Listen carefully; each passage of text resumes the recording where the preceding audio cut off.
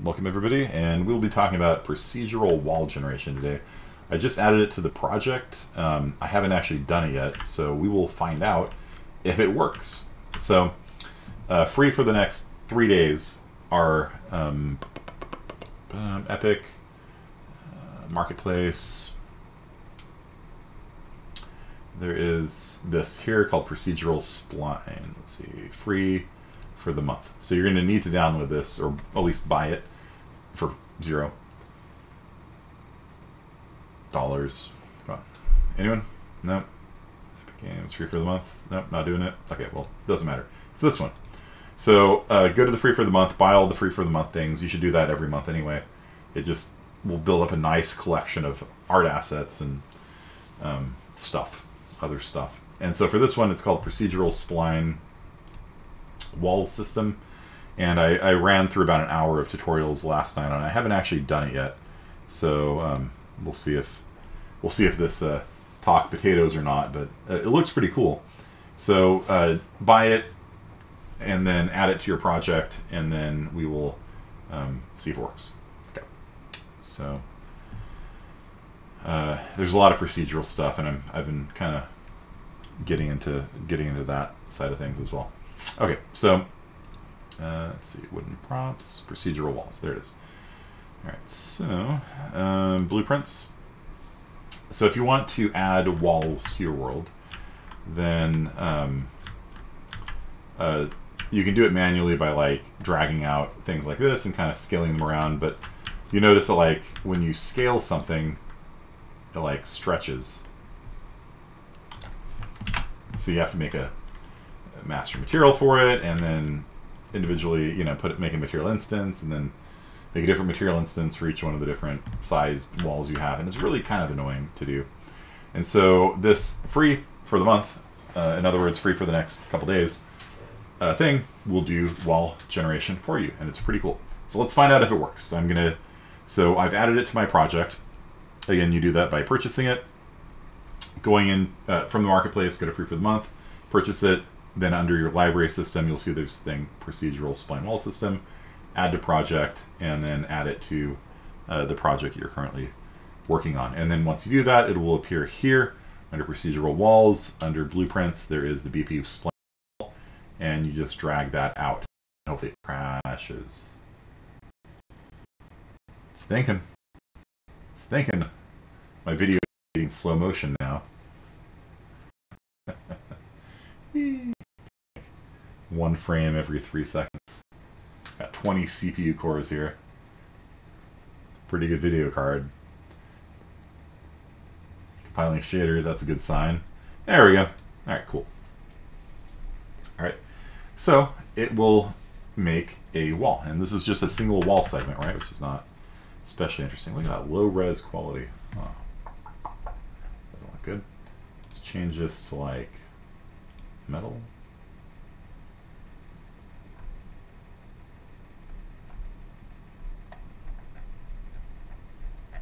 Mm, metal? I don't know what theme I'm going for with this world here. Metal's kind of cool. Stones. Stone blocks. Yeah, that's a little more in line with my ideas. So stone blocks, there we go. Okay. So uh, by default, it will make a single segment of a um, of a wall and uh, let's see here. Spline.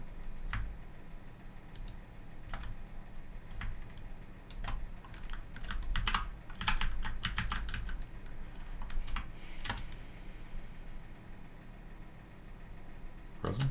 No?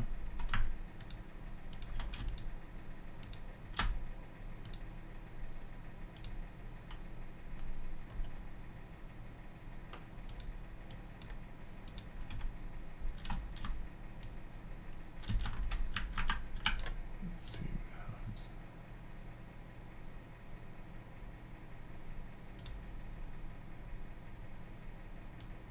Issue with splines sometimes where it's just not letting me mess with them. Spline. Next.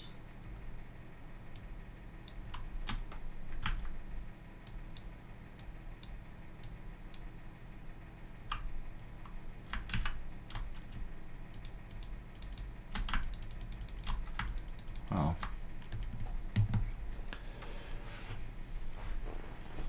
Uh, Walker's always mega chillin', working on the mod right now. Let's see.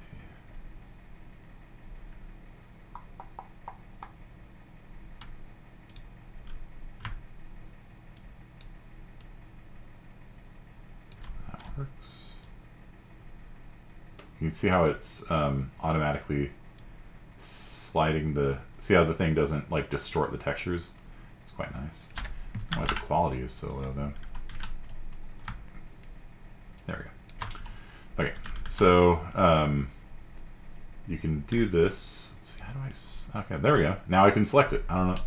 Yeah, I don't know. Like I've I. I I'm, I'm probably doing something wrong, but like I've messed with splines before in the past, like when working on water, and sometimes it just really just doesn't want me to be able to click on those things. So if you um, Alt drag, it will create a new spline, and then you can just move the points around like this, and you can just sort of make an arbitrarily sized wall however you want. Um, if you scale it up, oops, that's movement. If you scale it up, if you scale it up.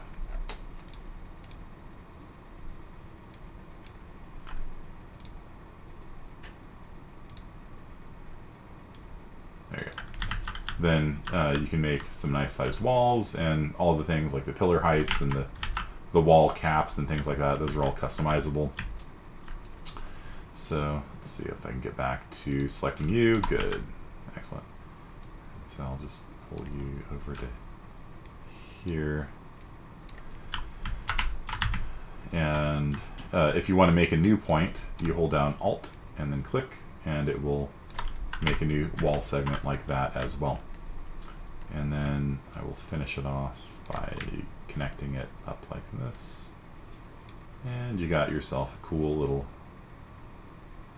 castle wall or whatever. Okay. Right.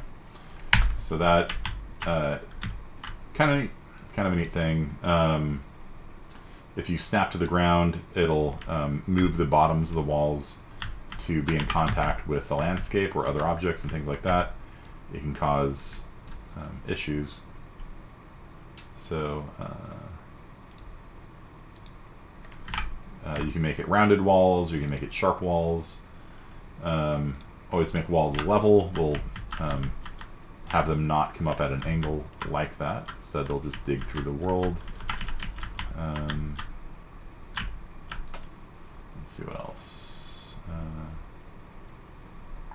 oh yeah, the age thing on that. That's pretty cool. Uh, so the pillar tops, you can uh, you can make different shaped uh, pillars and stuff like that. Um, you can age them, which causes moss and things like that to appear as well. Um, moss pillars. And you can tint them, different colors.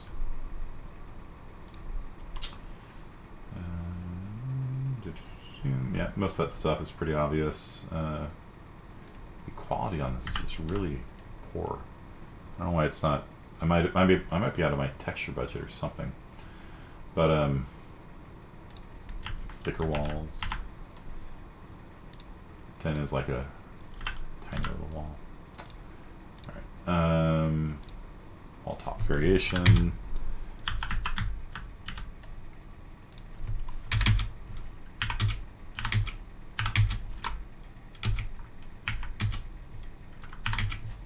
So, yeah, tons of fun stuff there.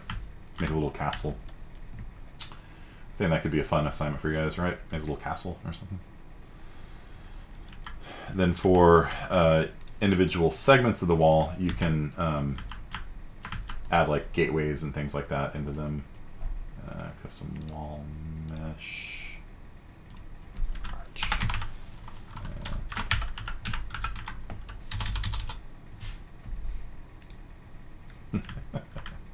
That's funny. Whole thing is a giant barrel now. I do. Um, mhm, doorway height, doorway width. Sections to add doorways. Uh, not you. This one. It's not very large.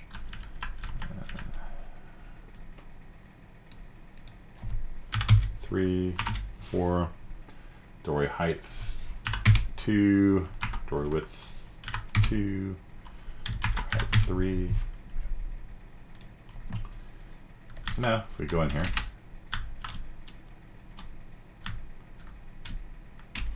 pretty cool.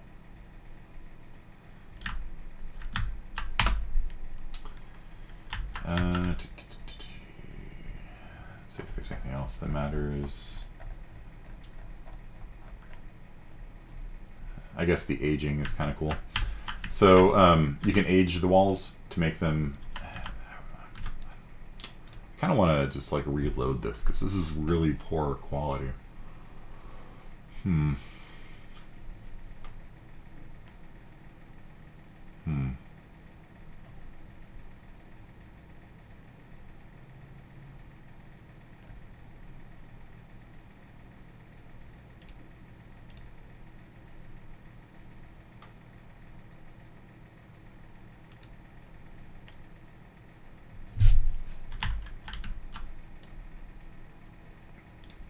So you can choose which points get pillars, by the way.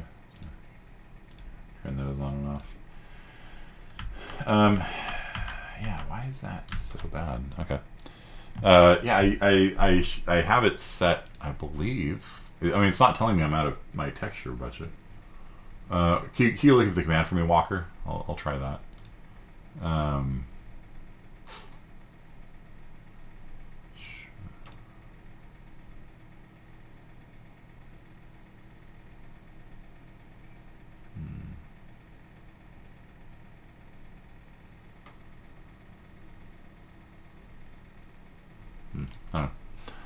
Um, okay, let me let me show you how you can like put moss and stuff like that on there. That's kind of fun. So there's a mode that we've never gone over before called mesh painting, and uh, so let's see here.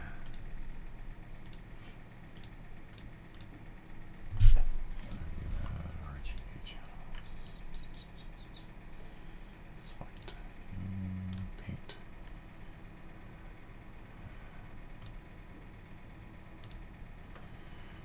So, um, you can. You can paint. Um, oh yeah, right. darker more. Except the quality is so bad you can't really see anything. Um, you can paint like moss and things like that onto the walls, and you can uh, age the walls as well. Um, you kind of. This is just spray painting you know, darkness onto it, but it's kind of hard to see with um, this super low res texture quality. But you can you can basically paint onto it um, moss and like moss will grow on different sections, and um, over there it worked. Okay. Um,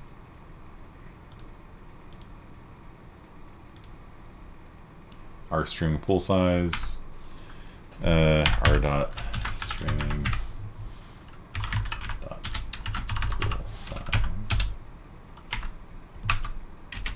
equals. Yeah, there we go. All right, cool. All right, much better. All right, uh, paint color.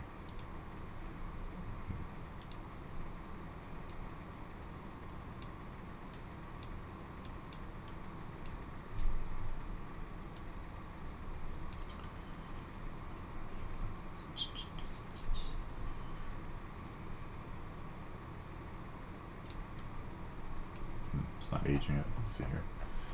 Use vertex painting age and moss. Red controls the age. Green controls moss. Blue is darkening. Let's see here. Uh, age pillars. Uh, that's oh, these are the pillars. That's why, not walls. Okay. There we go. Okay, so there we go. Nice.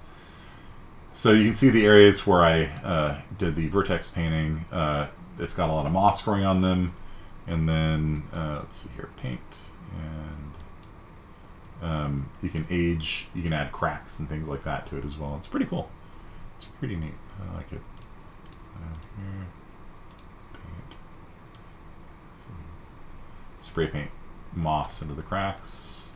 It's pretty cool.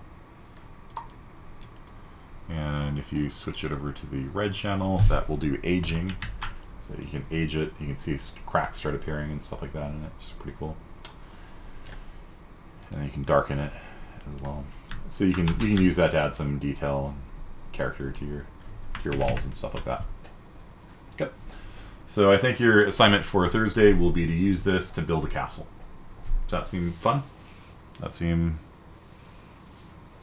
like the kind of thing that you signed up to IS50B to do? Or do you want to do something harder?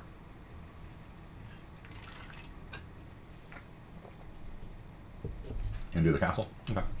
And then you can you can add multiple layers to it, like maybe um, let's go back into select mode. And this is selecting the whole thing right? So you can and no, notice how it snaps to the ground because I have snapping turned on. It's pretty cool.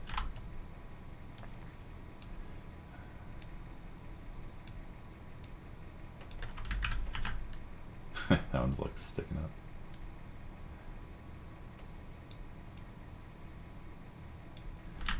Okay. Um, yeah, now I can select the splines. Cool. Um, yeah, so again, uh, Alt drag will add a new segment, and uh, delete will delete a segment out of it. There's no scaling issues. You see how these things slide around really nicely the back here probably could use another point. So I'll click here and Alt drag and then pull that out here. And, uh, and then you can pull out a second blueprint like that and then have a second one inside of here. Oops.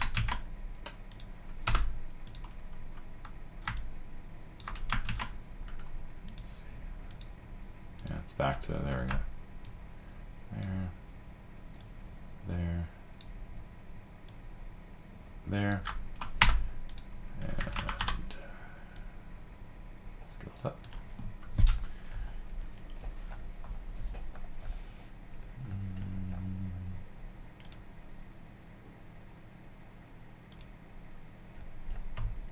Change it to stones.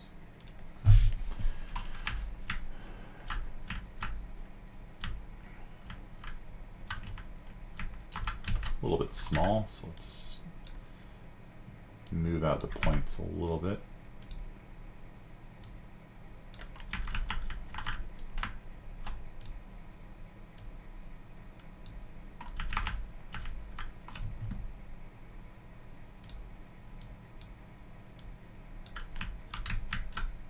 I don't know, it's just kind of fine how it was before.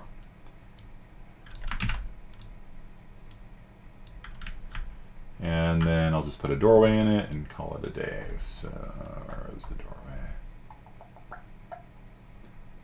Pillar top. Why not? Um, hmm, hmm, hmm. pillar thickness five. There we go. Three. Too big. Two. Age the pillars, sure.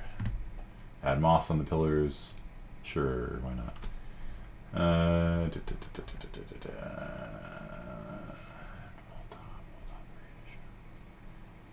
type, age wall on, add moss on, and then doorway. We're gonna add a doorway and one, two, there we go. And the doorway will be there. Okay.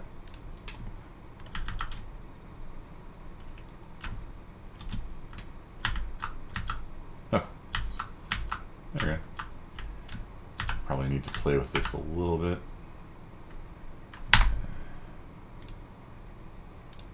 Landscape.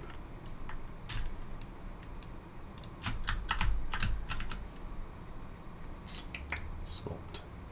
Smooth. Smooth it out a little bit. There you go. And then when I come back in here and move it, you'll see it snaps down properly.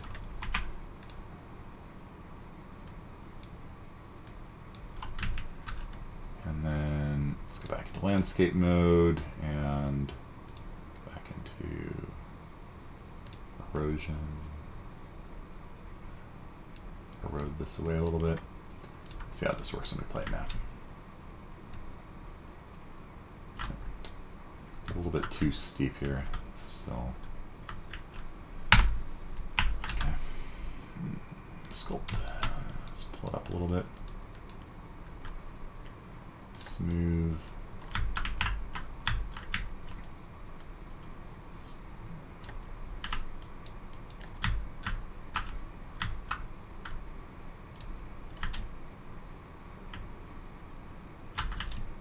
There we go. Preview. Yeah, okay. So I can put a treasure chest in here or something. Um, select mode, wooden props, meshes,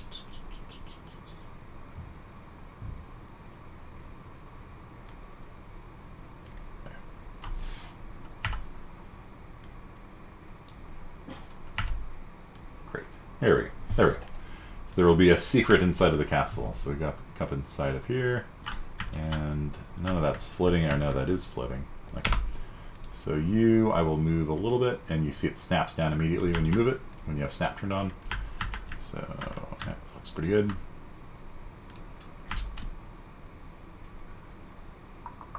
Hmm. That part needs to snap too. that is floating above the ground. Oh, it's because I didn't turn snap on. Uh, there.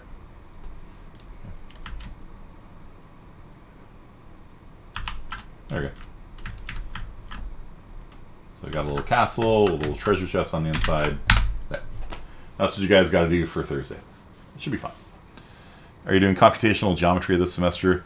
I haven't been doing very much. Um, the students here aren't. Uh, um, they haven't taken 45 yet and stuff like that. No, I guess Steph has. But, um, yeah, so I've been I've been going more on the uh, Unreal Engine side this semester than over uh, summer and, and spring. It just depends. I, I, I, I tailor this course to the students in it, and uh, you know, if I discover something new, like this cool little tool here, I'm just like, all right, let's do it.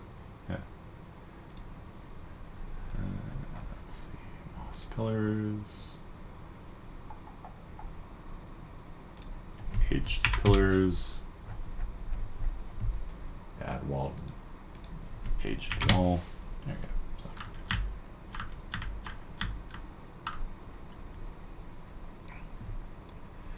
you and Moya were into the re- rendering pipeline also. Yeah. And partly is because like you were asking like what does it mean to render things and rasterize things. I talked about it a little bit with them, um, but not not super hardcore. Uh, uh, okay. So there you go, castle. Um,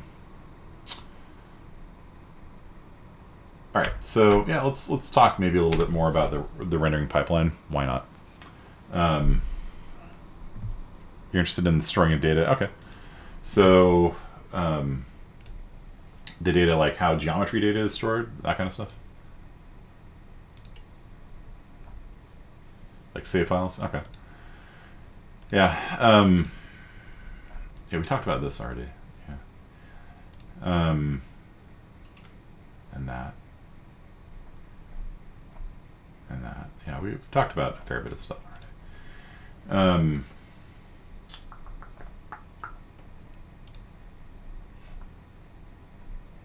that's that's CS twenty six. Okay.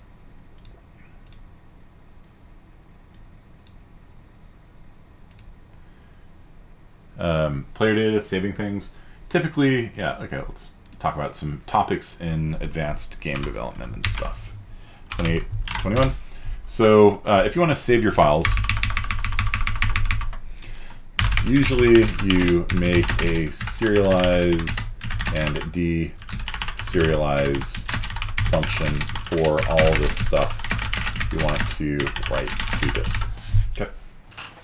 So if you've got um, a role-playing game and uh, you want to um, write a player to disk, then the player will typically have a serialize function on him, and it will say something like, uh, here's my name, here's my level, here's my strength and dex and con and int and wisdom and charisma. Uh, here's the indexes, indices of every item that I have. I've got a wand of fireballs with 20 charges. I've got a sword plus three. Um, basically, what you do is you have each individual object in the world know how to save itself to disk and how to load itself off disk. And so you, the serialize function will dump a player or a monster or a map or whatever to disk. And then um, if the things that it's dumping is other things that are complicated, like a map, might have more complicated things inside of it, then those things might have serialized functions. And so the map, to serialize the map, you serialize the map, and then it calls the serialize on all of the objects inside of it, and all of that goes into a file or something like that. And that's the basic approach. And so each object knows how to write itself to disk and read itself back off disk is the general approach you want to take. Um, then you have some issues like uh, pre-caching and things like that. Like uh, you want to pre-cache all sounds, textures, depending,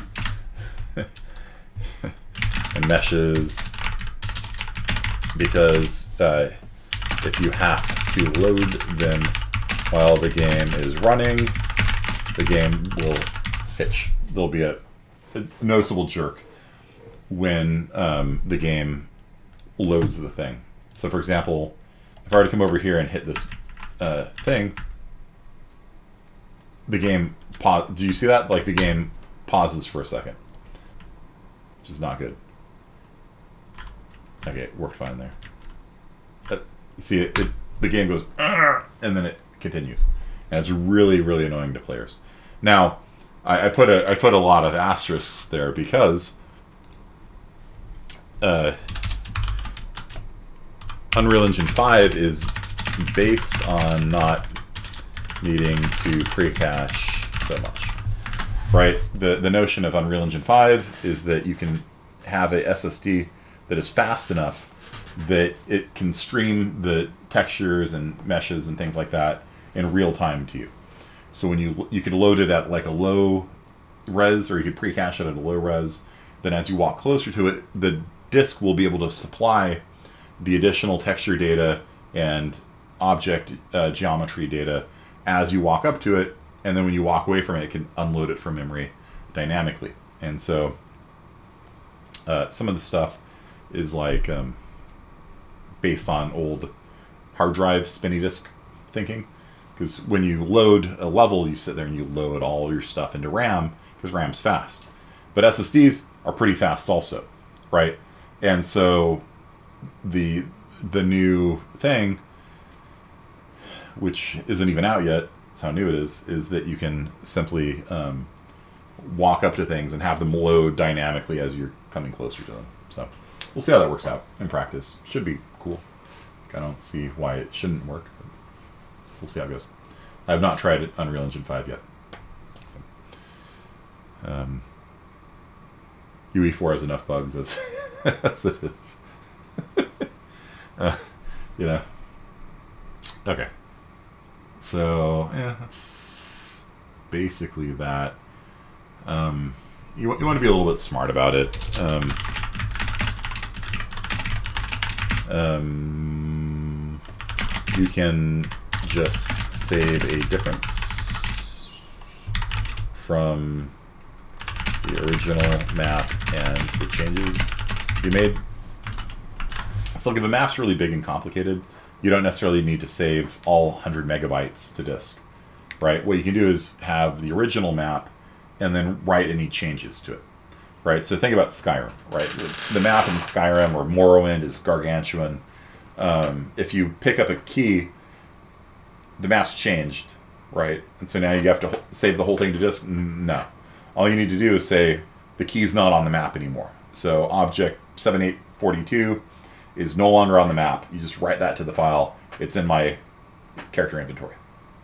And so if you're clever with things like that, you can minimize the amount of writing to disk you have to do. You don't have to rewrite the map file. Instead, you can just write the changes the players made. And sometimes, though, that causes problems because the players will just go around and start making a lot of changes. Like in uh, Valheim, people have completely terraformed entire regions of Valheim. And the the game, the way it was made, it actually just it recorded all the changes, like I was talking about, right?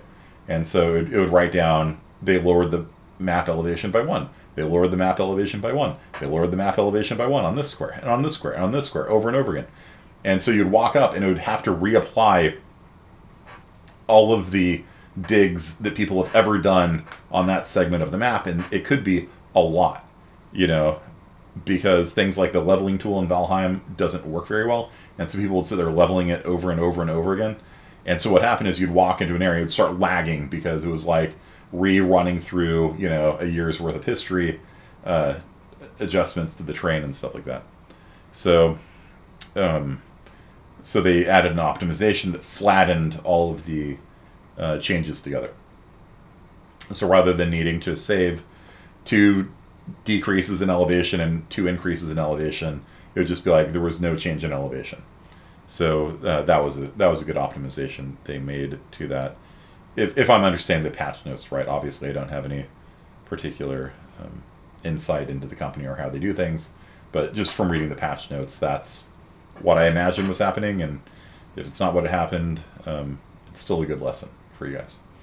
So yeah, saving changes is good. Um, but uh, if you do like um, a lot of changes, then that can get just as bad. Um, Path of what is it called? Pillars of Eternity. Pillars of Eternity would save every change your players made every time you quick saved to the world, as far as I can tell. So when you're starting the game, it's real fast.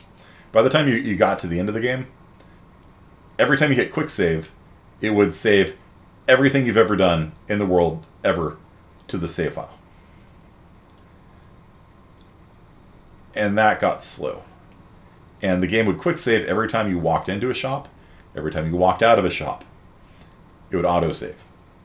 And so I stopped wanting to go into a shop because there was a zone. You'd have to zone in, talk to the shopkeeper, buy a torch or whatever, and walk out. And I was just like, you know what? I'm just not going to buy a torch because it takes 30 seconds to walk in a damn door.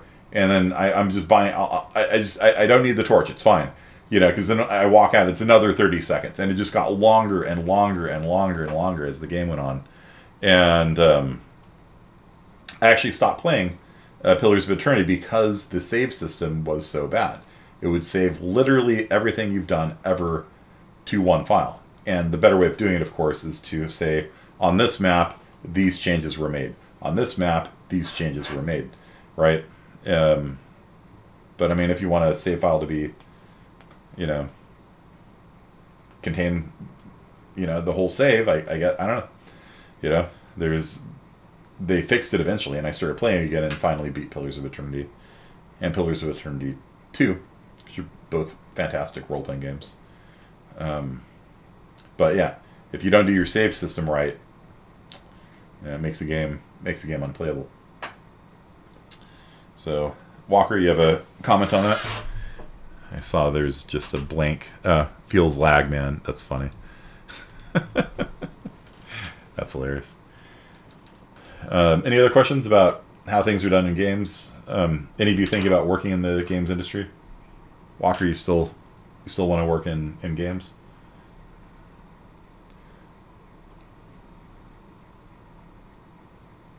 It would be it would be fun, yeah. And so just uh, developing your skills. Pick one area that you like. Like if you like world building, then you know just like really like get into it. Um, I'm I've I've been sort of pushing my daughter towards it, and I think she's uh, like, no, I don't want to do this for my living. I just want to do it for fun. Like, all right, all right fine. Got hired at Bungie. Yeah. So um, yeah, the whole materials thing. Like there are people who just make materials. You know, that's that's a thing you can do. Um, you guys have all done lerping on the materials and making new materials by lerping together other things and dynamic materials and um, we haven't tied together materials and blueprints. That could be fun. What um want to work on Destiny 2? Man. I guess. uh what what particular thing do you guys want to do? Like game design, map design, materials, sound, AI, you know, game code. Like what what specific things interest you? Because it's a it's a giant field, and and one of the problems I have in teaching this class is that there's just so much damn stuff. You know, like we've done dynamic materials, but we haven't tied them to blueprints, right? Where you can make it so like you pull a lever like a, a wall ages in front of you. You can do that. You know, it's kind of cool too. I've done it two or three years ago, but I haven't done it recently. Um, what's game design? Uh, game design is um, people get paid to design games, and you know, they're not coding necessarily, although ultimately, you know, everybody pitches in probably a little bit, depending on the company. Um, but like uh, a friend of mine, he worked for um, Wizards of the Coast, uh, Pokemon, Nintendo, and uh, he is a game designer. He's not a programmer; he's a game designer. He's a really smart dude. He knows all about how to make games fun and interesting and stuff like that. And he gave a talk here last summer. And so if you check on the modules section on Canvas, uh, you can see there's a, a lecture tagged as guest lecture click on that and you can watch the interview with him that he gave. Designing infrastructure? No, like actually designing the game. Like, uh, you know, how does an ult work in Overwatch? You know, or the notion that there's ults at all. Somebody had to come up with the notion for Overwatch, right? We're gonna take a first-person shooter, Team Fortress, and excuse me, and did I say Team Fortress out loud? We weren't supposed to say that out loud. We're gonna take Team Fortress, and we're gonna make it colorful, you know, and we're gonna make it shiny, blizzard polish, and then we're gonna take the ability system from a MOBA, having three, you know, primary abilities or whatever, or some are passives, whatever, and a Q for ult, you know, and that's that's our over. Somebody had to come up with that design, and that person's a game designer, right? They don't have to code; they just have to know and love games and things like that. And for a lot of you, you're thinking, "Wow, that's probably an ideal, uh, you know, uh, job. Yeah, it's it's the ideal job for a lot of people, right? And so it's it's a it's a hard it's a hard uh, thing to get into, um, but uh, it's it's dual. You can do it. Um, what design patterns? Uh, no, design patterns are, are completely different. They're uh, those are things in yeah, I don't want to say C plus plus in in programming languages where like you architect the code. That's like if you're going to make a server that handles mm, 20 people at a time, you can do like a standard multi-threaded you know setup, but if you're going to be handling thousands of clients at a time, 10,000, 100,000 at a time, then you need to use maybe the reactor code pattern in it. And a code pattern is a way of going about architecting your code in a time tested and proven method. You know, and people will talk about these code patterns like um, the the um, singleton or whatever. You know, so everybody kind of knows what you're talking about. Like, I'm going to use a singleton here. Are you sure? Singletons are kind of butt, dude. Uh, yeah, I, I think this is appropriate for a singleton. Okay, well, I mean, if you're sure, you know. And that's different from game design. In game design, you, you study the the archetypes, like the, the fundamental uh, components of games. Theory of Fun, Raph Koster, that book that I've talked about in the past. Um, textbooks like this, designing games and simulations, right? Um, this isn't programming. It's not. um, you know, anything technical. But it's like, all right, uh, how do you represent reality in a game? You know, what is the appropriate level of abstraction? What time frame should you be talking about? Should there be a linear, radial, or interactive structure to the game? Uh, what type of interaction is should be taking place between players? Um, and so here it's a industry and social services minister role description. Uh, I have no idea what this is. Uh, what is this?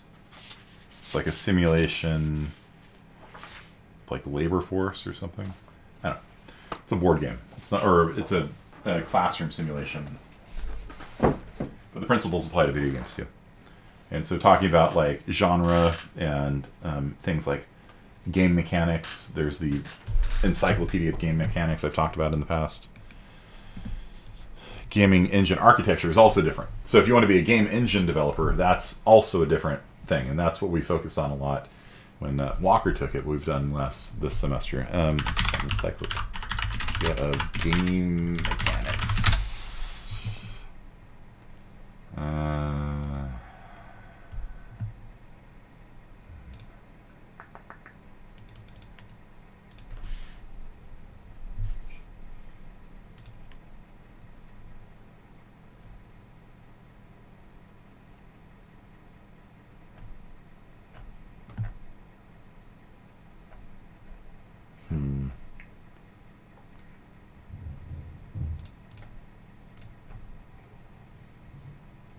Game ontology.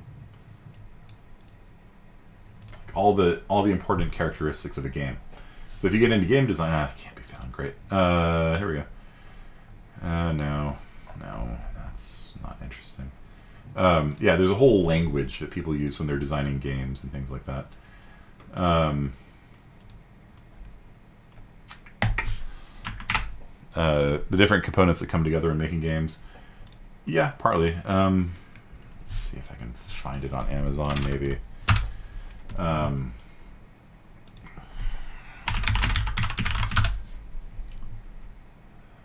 this one, yeah, this one I was thinking of. So this is the building blocks of table tabletop game design. And so, what kinds of mechanics go into making a game? Things like drafting. So the drafting mechanism is you have a bunch of cards, you pick one, you pass the rest to the left. And so you get other people's hands and you take it and pass on to the left. So that's a mechanic. Or um, uh, you roll a bunch of dice, you select some of the dice and re-roll the others. That's a mechanic. And there are a lot of mechanics like that in just board games, and they apply to video games as well and this is like part of the lexicon, the the language you need to know in order to be a game developer, or a game designer, I should say. You can most certainly be a game developer without knowing this stuff. Uh, trader games, single loser games, cooperative, semi-cooperative. These are the types of games there are. Is it cooperative? Is it competitive? If this sounds like the game analysis I've had you guys do, yeah, same thing. Uh, do people play at the same time? Do they take turns? You know, uh, is it real time? Um, uh, Captain Sonar is a real time submarine game, 4v4 board game that takes place in real time with uh, two submarines hunting each other. It's pretty cool. Um, actions. What kind of action action points? Like in um, Divinity Original Sin, every time you go, you have a certain number of action points that you use to move and cast spells and things like that. Um, uh, how do you resolve winning? Roll two dice, get the highest number. Um, check to see if uh, you, like in D&D um, 2.0, if you had a, a, dexterity of 15 and you made a stat check, you'd roll a d20. If you got below 15, you succeeded. Um, RPS, uh, voting, player judging, like these are all the core concepts that go into making games, and they all apply in video games as well. You know, do people go at the same time? Do they take turns? Like how how how do you win? Like a check. Like when two people are competing, who wins? You know, um, how do you how, how does victory work? Right?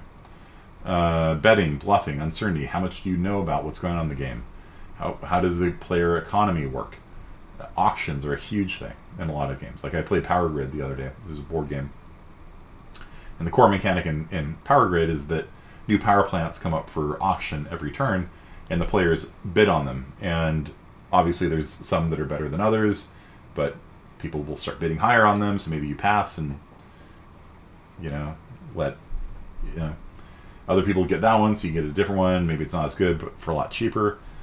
Uh, worker placement games are huge in board games. Uh, Lords of Waterdeep, all these kinds of things. Uh, Puerto Rico, you place workers on the, the map to do different things. And a lot of times, Agricola, you can, if you put a worker on a spot, then other people can't. Like, there's all these things. And this is a giant book, by the way. And, um, yeah, a game is a language. And so when you're talking game design, you speak this custom domain specific language with the other people. Okay. So uh, if you're into game design, like check that out, um, or put it on your. It's expensive, so put it on your wish list for Christmas or something. I don't know. All right. Um, yeah, and and then architecting a game from a code perspective, that's a whole different thing too. So how do you design a game from a code perspective is different from how you design a game from a game design perspective. Game, game design perspective is like, okay, we're gonna have five cards, and you're gonna select two of them and play them. The other three get discarded, and then both players reveal them at the same time, and then they resolve. That's game design. The person who actually has to make that work is the game programmer, right? And so the game programmer wants to know: is it single player? Is it multiplayer? Like, how multiplayer is it? Are you gonna have a million people on the server playing Magic at the same time? Because that's going to be different from if it's just one v one Magic the Gathering or something like that. Okay. So um, I feel like a lot of people think being a game designer is just thinking up ideas and getting paid for it. Yeah, it's it's a hard um, it's a hard career. You know, like you, you got to test and refine and all that kind of stuff. Uh, the board game industry obviously has a lot of game designers in it. Like you'll see Reezer Kniza or whatever the guy's name is. Uh, was his name? Reiner Knizia. You know designer of over 700 published games. He designs the games. He doesn't cut out the boards and things like that. He designs them. You know, so um, he's board game designer two. Who's one? Maybe that's a section or something. Oh, there's number one. Okay. Oh, he founded Helms and. Okay, all right, all right. Interesting. Um, so played.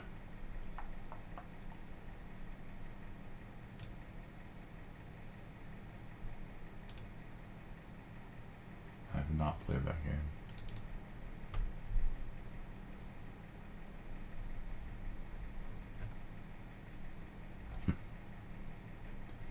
yeah. Anyway, so game design is it's a whole industry. It's a whole field you can get into.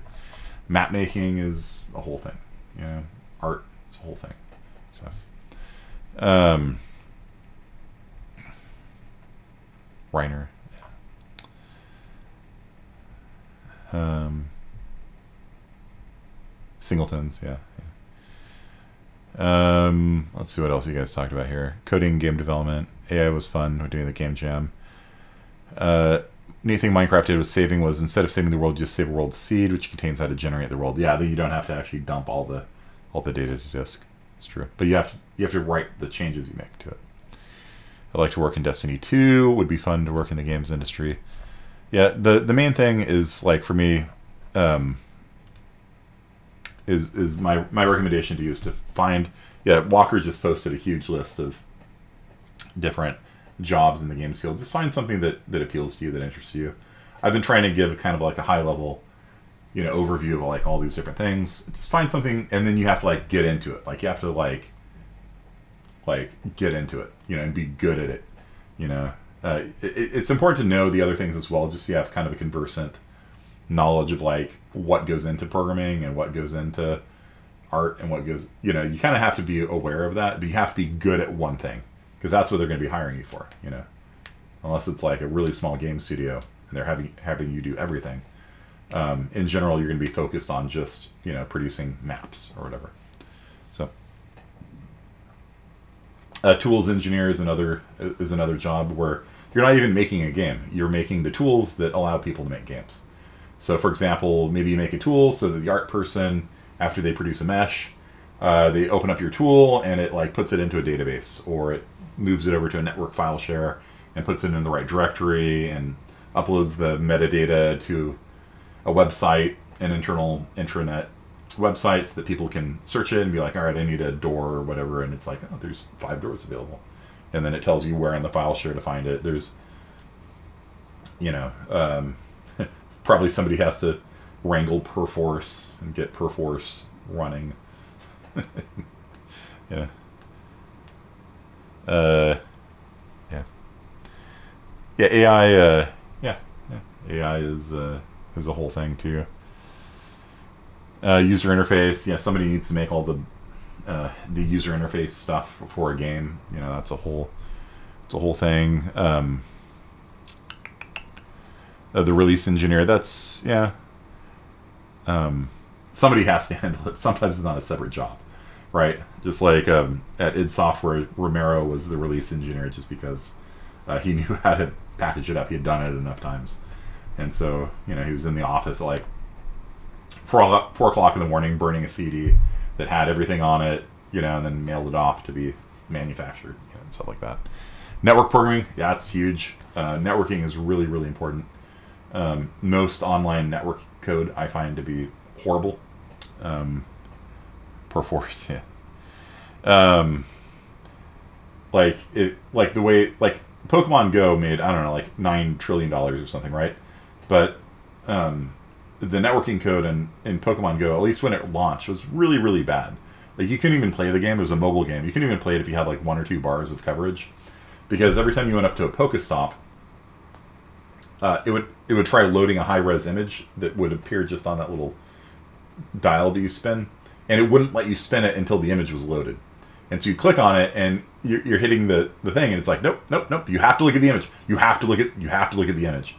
And if you close it and open it up again, it would unload the image and then reload again. You're like, oh, you know, just please just pre-cache the data if you're going to do that, or you know, just let me, um, just let me spin it without looking at the picture because I'm in front of it. I can see it. It's right there. You don't need to have a picture for me.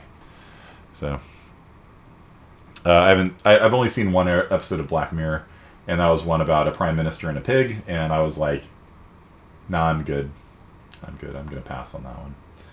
So, um, uh, what makes a network programmer good? Uh, being able to have your game run with minimal latency and minimal glitches, like people not rubber banding around, uh, not being out of sync, things like that. And you'd be surprised, like how bad networking is. Maybe you're not surprised. I don't know.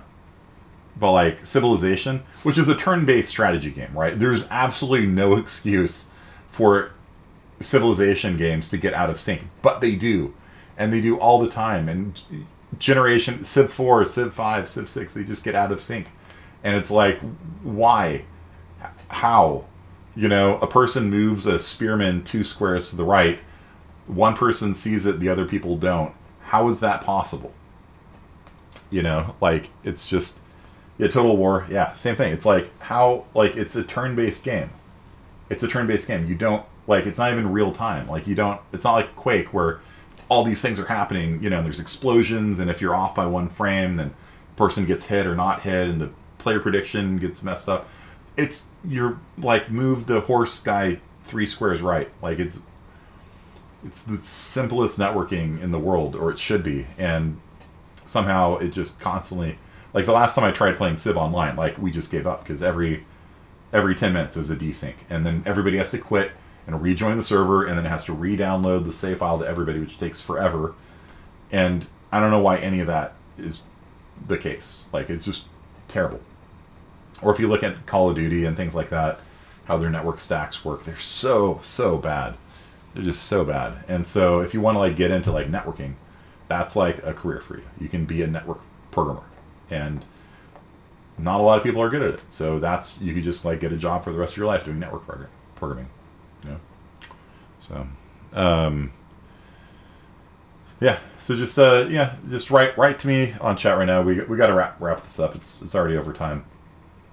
Just post for me on chat like what jobs you'd be interested in doing if you were to work in the games industry. Obviously, I'm not pressuring you into it or anything, but just tell me which uh, which jobs you would like to have. Each of you put one one uh, title on there, and then I'll try to customize uh, this class to you. For now, just make a castle for for Thursday. Okay. The uh, the tool um, it's pretty easy to use, but you need to do it before you know October. Is or at least, at least you're gonna have to buy it before October. Otherwise, the homework exp- homework's gonna get a lot more expensive. Because you know, I think it's like a twenty dollar uh, tool or something normally. Okay, so uh, thanks everyone, uh, and uh, yeah, just everybody post what what you like to do, what you would like to do, what you're most interested in on the chat channel, and then I will, like I said, tailor this class to you. All right. So I'll see you all on Thursday, and have fun storming the castle. No, have fun making the castle. see y'all.